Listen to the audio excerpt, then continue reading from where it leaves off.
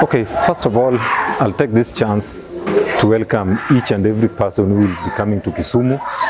That Kisumu is a good city and is a city which is growing at a higher rate in Kenya and is the third largest city in Kenya.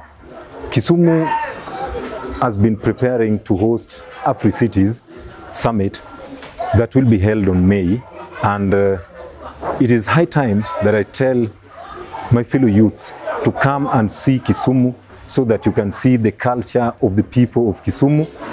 You can experience, you can exchange ideas, you can make friends, and you can visit so many places in Kisumu that are interesting. Like in Kisumu, we have different sites that you can visit. We have uh, tourist attraction sites. We have entertainment joints where you can go.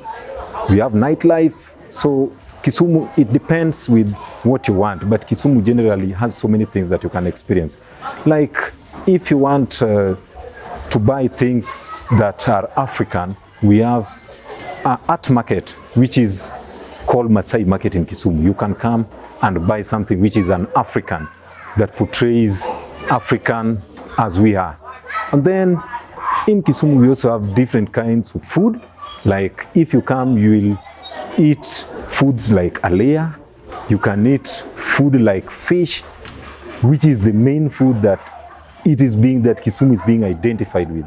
So I'll urge each and every person, come to Kisumu, visit Kisumu, experience Kisumu, because our motto in Kisumu is love life, love Kisumu.